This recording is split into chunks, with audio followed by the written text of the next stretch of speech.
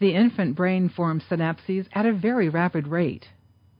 These usually achieve a maximum density between 6 and 12 months of age, then decrease due to disuse or natural attrition. In other words, the infant brain retains only those synapses that it frequently uses, so early sensory experience is critical to their formation and retention. Imaging studies have shown that early stimulation enhances brain function. Until recently, it was believed that brain development was essentially complete by age three. However, recent studies tell a different story. Using magnetic resonance imaging, researchers have shown that brain structure continues to change through age 15, even though brain size in preschool children is almost that of the adult. Abnormal development, brain injury, and hypoxia can all affect brain function, although the deficits may not become obvious until later in the child's development.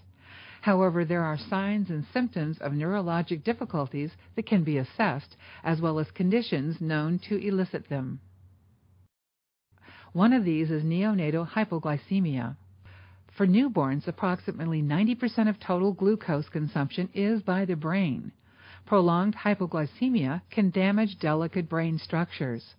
Most practitioners agree that a minimum plasma glucose concentration of 40 milligrams per deciliter should be maintained, and that a level less than this should be treated whether or not the infant is symptomatic.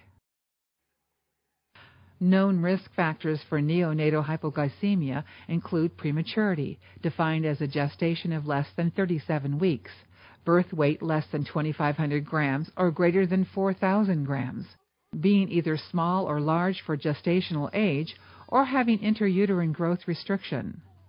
Situations which can cause hypoglycemia include delayed feeding, insufficient breastfeeding or fluid restrictions, perinatal hypoxia, asphyxia or hypothermia, respiratory distress, sepsis, or any other condition causing the infant to be clinically unstable.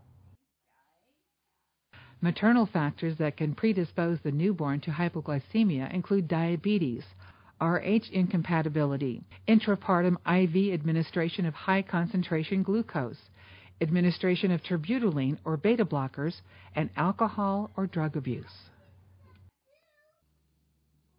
All newborns meeting any of the criteria listed should have a baseline glucose drawn whether or not they are symptomatic.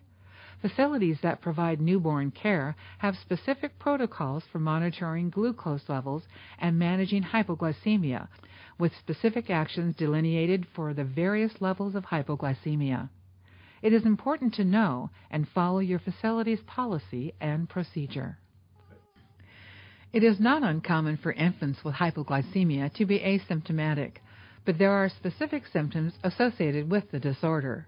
They include jitteriness, tremors, lethargy, abnormal or high pitched cry, refusal to eat, poor suck, hypotonia, apnea, tachypnea, tachycardia, temperature instability, and seizures. Any infant displaying one or more of these symptoms should have the blood glucose level determined immediately. These symptoms can also be related to a variety of other neurological deficits or problems, and further medical testing may be necessary to determine the origin. They may also signal a cohort of problems.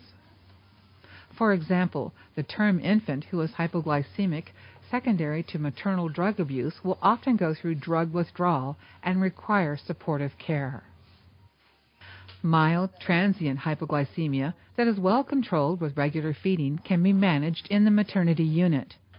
For the infant who needs more invasive measures or who has concurrent medical issues, transfer to NICU may be required. Any sign of decreased movement or inability to move is another negative neurological sign that needs to be reported immediately. Newborns have immature neurologic systems, and this affects their ability to regulate body temperature. For this reason, persistent hypothermia may develop as a result of serious infections such as sepsis.